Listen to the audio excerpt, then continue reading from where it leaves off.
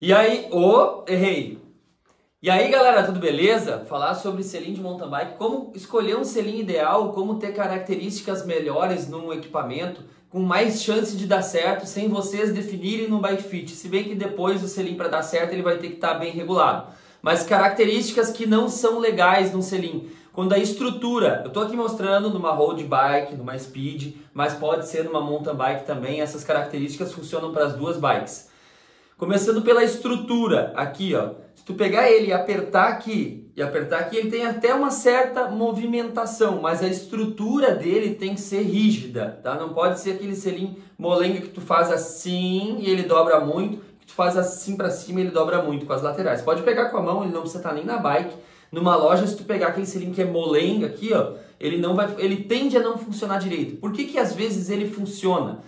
Porque a pessoa às vezes precisa de um selim 140 e está usando um selim 155, ou precisa de um selim 135 e está usando um selim 155. Ou seja, ele dobra, ele diminui a medida lateral, mas ele ainda não é pequeno. Agora, para quem precisa um selim 155, por exemplo, e pega um 55 que dobra e que é uma estrutura mole, provavelmente não vai funcionar. Porque o que, que vai acontecer? Vai sentar, ele vai dobrar, vai ficar assim, nesse formato, tipo um gomo de uma telha, ou que nem uma telha romana, e a pessoa senta como se estivesse sentada em cima de uma telha romana. O que, que acontece? Os iscos, que são os ossinhos, quando a gente encaixa aqui na bike, eles vão abrindo, ó. E, o e, a, e a gente acaba tendo até aquela dor no lado interno do ossinho que a gente tem é, é, na bunda em contato com o selim, porque ele vai abrindo e vai não dando o apoio. Fora que vai passando pelas imperfeições, imagina se o selim ele, ele é mole na mão, fazendo uma pressão aqui de 6, 7 quilos, imagina uma pressão de uma pessoa de 80 quilos fazendo força, mas com a bike reagindo no terreno e se dobrando. Por isso, atento a essa questão. O selim vai ser macio, não vai ser macio? Tem uns que são secos de carbono, sem nada. Tem outros que são fofões dessa grossura, parece até um, um, sofá, parece até um colchão, parece até uma almofada. O que, que acontece? Ele muito duro vai priorizar mais a movimentação e tu usar ele por curtos períodos. Um selim muito seco, muito duro, com a borracha muito dura, muito, pouco, muita densidade, ou só aquele de carbono, ele funciona para alguns ciclistas, mas para a maioria ele vai acabar dando um desconforto no pedal longo. Imagina um, X, um selim de XC que vai favorecer a movimentação, que vai ser leve, tecnológico, enquanto a pessoa usa por mais ou menos uma hora e meia na trilha e a outra pessoa vai pegar esse selim seco, seco e vai andar, seco que eu digo super duro, vai andar, sei lá, duas, três, quatro horas em cima, vai acabar sentindo isso porque o estofamento do bretelle não vai ser o suficiente. Ah, então eu tenho que pegar um fofão, aí eu costumo chamar que é o selim fofão, aquele selim fralda, que ele, é, ele chega a selar em todas as partes íntimas da pessoa, no períneo, na bunda, entre as pernas, porque o que, que acontece? Se ele é muito macio ao toque aqui de 5 ou 6 quilos de pressão com a mão, imagina com a pessoa sentando em cima, os isquios vão até o fundo da espuma, aí não tem espuma para absorver, ou seja, não tem densidade e todo aquele material na volta acaba ficando selado no, no, no ciclista e causando excesso de material, pode causar assaduras, é, causa até um aquecimento maior da, da área, ou seja, é um material desnecessário. Então o selim fofão demais também não é bom. Então o que, que é legal? Estrutura rígida e uma densidade como essa. Esse aqui é um selim da Bontrager, existem várias marcas, esse aqui é feito pela Trek, e existem várias marcas de qualidade e tem vários valores diferentes. Inclusive, não quer dizer que o selim mais caro vai ser o melhor para ti. Por exemplo, escolher um selim de XC, de carbono, que é super seco e rígido, pode não ser o mais confortável para fazer aquele longão de 4, 5 horas. E é um selim do valor super elevado. Então tem que adaptar não só o valor, mas também ao tipo de utilização que tu vai fazer. Olha só, esse aqui tem uma densidade bem legal, ele é macio, mas nem tanto, ele é firmezinho. Outra coisa é a medida, tá? Se ele for mais estreito do que o ideal para ti, não vai funcionar.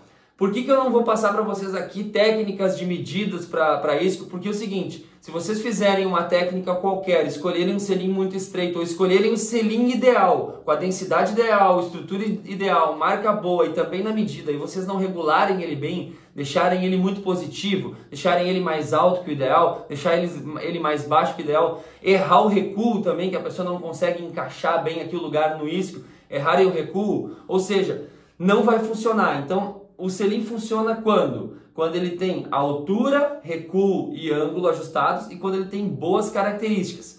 Selim vazado, muita gente tem pressão no períneo e diz eu tenho que comprar um selim vazado, vai resolver minha vida. Se for um selim vazado bom, como esse aqui, vai resolver a tua vida. Se for um selim ruim, não vai. Vazado é quando ele tem essa, vou mostrar com a bike junto, que ele tem esse vazado aqui, esse, esse buraco no meio. Então tem selim que tem qualidade e tem selim que não tem qualidade. Eu já vi selim vazado que até essas laterais aqui dele, de um lado e do outro, acabam machucando o períneo. Tem um acabamento às vezes grosseiro e não tem nenhuma ergonomia.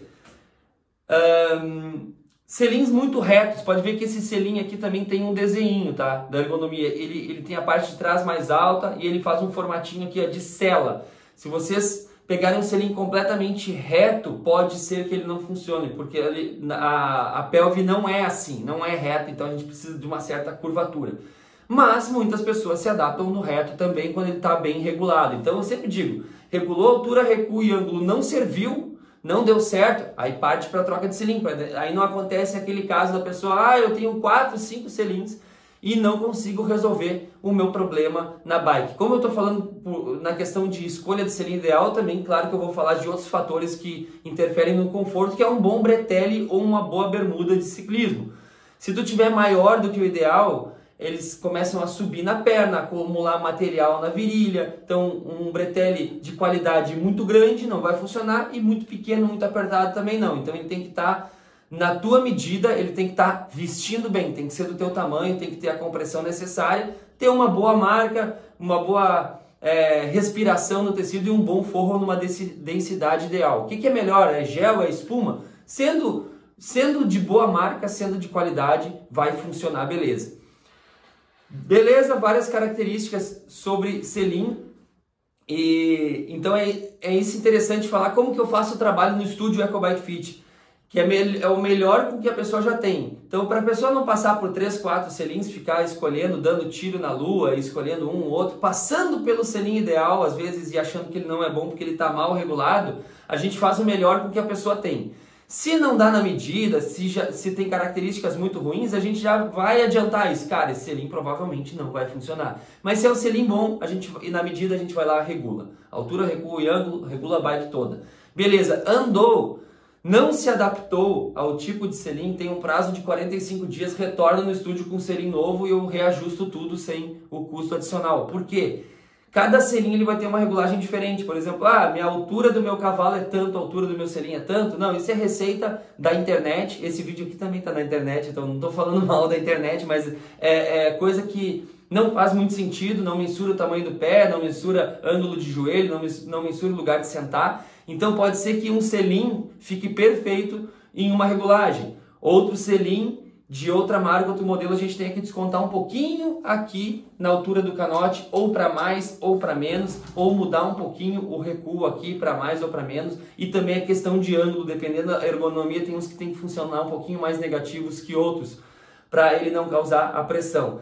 O negativo aqui a gente nivela a bike, faz é, assim, ó, no detalhe esse tipo de trabalho, porque ele tem que ficar negativo ao ponto que ele não pressiona o ciclista e ao ponto que ele não escorrega para frente. Então não adianta tu regular, fazer ele o ciclista parar de escorregar e causar pressão. Não adianta arrumar uma coisa e estragar outra.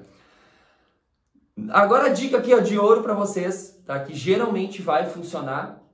Geralmente, tá? Ah, como medir é, o meu isquio para descobrir a largura do selim que eu tenho que comprar?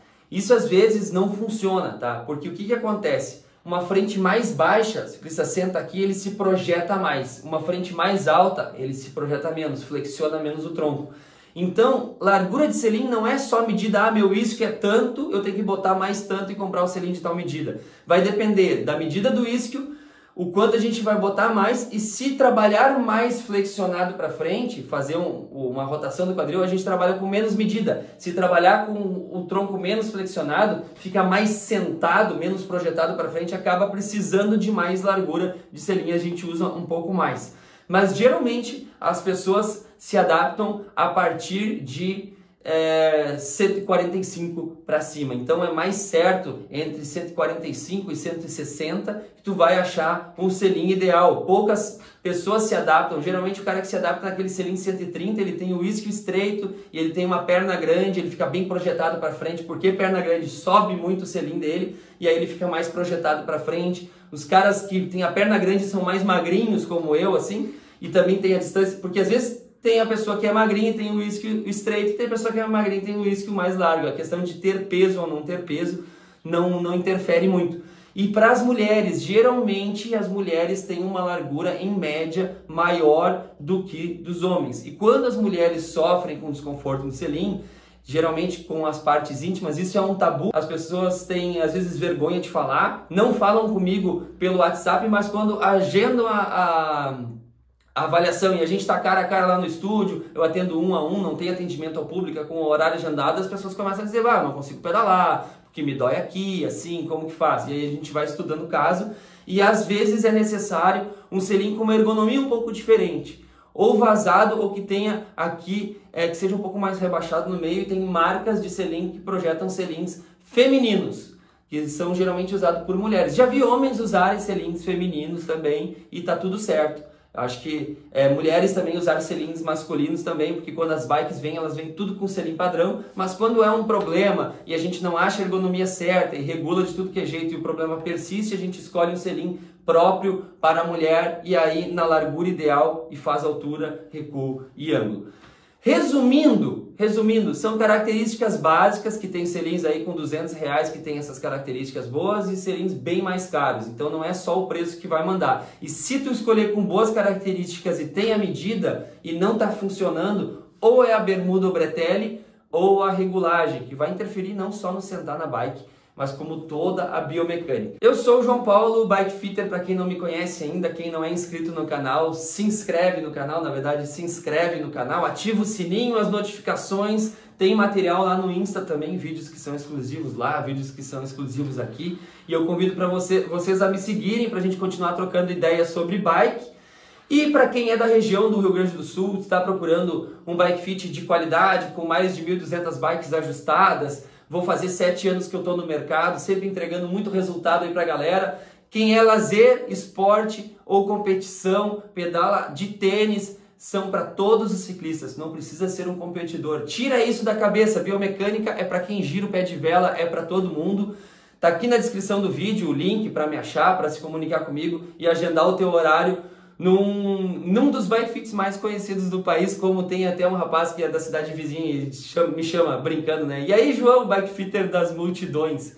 A minha intenção, claro, que é ser mais conhecido, divulgar o, o, meu trabalho, mas o meu trabalho é de formiguinha, é de um a um, fazendo cada bike como se fosse única, é, cada uma como se fosse uma para ir do início ao fim e entregar um trabalho artesanal de precisão. Eu gosto muito do que eu faço. Se quiserem um bike fit aqui, atendendo a galera de todo o Rio Grande do Sul que vem até Sapiranga e também como bike fitter oficial na loja da Trek em Porto Alegre, que eu sou embaixador da Trek também. Tem uma Trek aqui e outra aqui. Certo, galera? Valeu, até o próximo vídeo. Um abraço.